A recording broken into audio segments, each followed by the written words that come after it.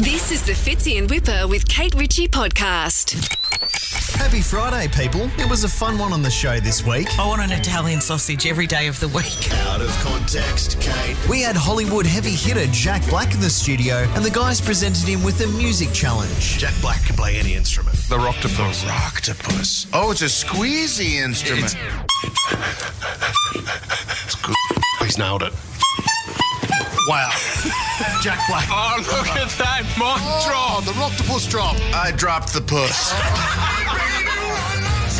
Kate Ritchie and Troy Cassar-Daley were on the hit TV show It Takes Two. And this week was the 18th anniversary. So Troy decided to surprise Kate live on air. Hand K. Ritchie the oh, microphone. I'm not singing! What are you doing here? We've been talking about Jackson ever since the fire went out. I'm going to Jackson. Ain't never coming back. And things got a little emotional when Kate reflected on Troy's absence at her wedding. Oh God! Oh, what? When I got married in 2010, Oh, yes. Yes. Troy couldn't make the wedding, and so um, uh, Stuart and I wanted Troy and Laurel to be at the wedding, but they couldn't make it, and we wanted him to play. And instead of Playing. You know what happened? We were living in Nashville, and I'll just do a little chorus, and all it is is just um. As the years go by, I promise to make the most of every day with you. I'm gonna make the most of every day with you. Oh, Troy Cassar-Daley. That was amazing. Oh, guys, I'm not crying, you're crying. I'm only crying so we don't have to do yesterday. Fitzy then picked the mood back up with this bit of audio that he found. The first time you won your gold Logie, you were quite nervous for your Oh, I speech, remember weren't you? that. Yeah, And which you, one? You've spoken What? about this, your second gold Logie, and you were a lot more relaxed. The real Kate Ritchie came out. Oh, the Campbelltown Kate Have you, Ritchie. you have not heard this for a while, have you? Have a listen to Oh, Kate. here we go. Accepting the second gold Logie.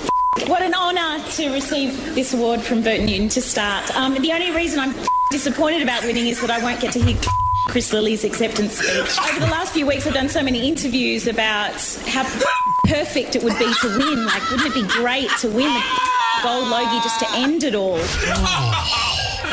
Oh, Kate, that was.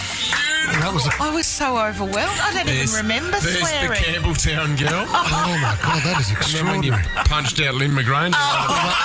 Everybody was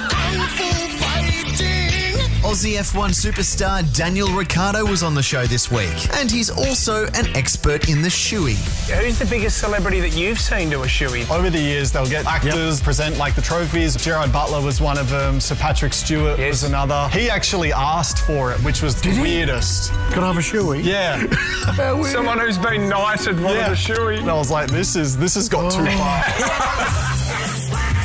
We had a brand new segment this week. Firstborn versus secondborn. This is where you look at the first child being perfect and the second child not so much. So my firstborn, Houston, decided to ask his brother to play Yahtzee with him, and the secondborn stabbed him in the leg with a pencil because he was losing at Yahtzee. Classic second born. And we had people calling in telling us their stories. Firstborn academic excellence, secondborn started school, put a set of craft eyes inside his ears and told his mum he was trying to work out what was going on inside his head. Our eldest got an award for diligence. Of course. And that same afternoon, I went to preschool to pick up our three year old. And the daycare teacher said to me, Yeah, your son said F and hell to us today. Oh. A three-year-old. yeah. Well, where is he getting that from, Wow, the, the Louise? food is pretty bad at daycare. Well, sorry, I'm going to put my husband in now. Um, Oh, well, you've just sworn again, Louise. Kate's mum is a surprisingly big fan of Michael Bublé. She said, is, is Michael Bublé on the show? I said, yeah. I mean, just a lineup of stars. Don't act desperate, Mum. You're And one's in the kitchen with your mum, if you haven't forgotten. the biggest is right here, right now. And I'm feeling good. Speaking of stars, he hangs with all of the Canadian celebrities. Like Ryan Reynolds, Ryan Gosling, all the Ryan. All the Ryan. All the Chads. Chad Michael Murray, Chad Kroeger. What about Justin Bieber? I was just with Justin. But there's one name he can't seem to quite get right. Chad Kroeger, Nickelback, fellow Canadian legend. He called me like last week out of nothing. Yeah. And he goes, uh, hey, Buble. And I go, what's up? And he goes, what's my name? And I go, what? He goes, what's my name? And I go, it's Chad Kruger. And he goes, it's Kroeger. It's Kroeger. God damn it. He says, I've heard you do like inter, and you kept saying Kruger. And I was like, my name is Michael Bublé. Bublé. Yeah. I was like, out of all the people that you're going to call and destroy because they messed up your name, mm-hmm. no one has ever got my name right. Hamish and Andy were in the studio, but it seems their stories weren't that interesting to Kate. I was the local vet there at halftime. The team mascot was a pig. I wasn't listening to any of that stuff. Thank you. But I am sitting here imagining how great it would be if the vet had you on the trestle table sewing your lips up. Oh, because he didn't like the story. So you would stop talking for one moment.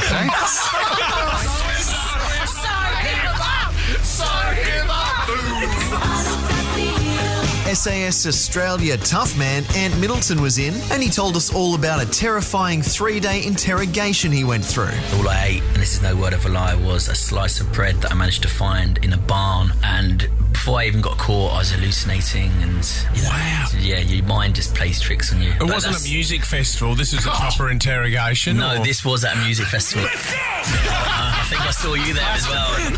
you would have. It was DEF CON. I didn't know where I was. I was hallucinating. Oh I'd my only been there for two hours. Those damn magic mushrooms. What a week it was. Hamish and Andy, got any last words? Thank you. Mm-hmm. Thank you so much. Tommy. Tommy? Can you get no Tommy, can you get them out? All right, okay. Bye bye. See you guys next week. Fitzy and Whipper with Kate Ritchie is a Nova podcast. For more great shows like this, download the Nova Player via the App Store or Google Play. The Nova Player.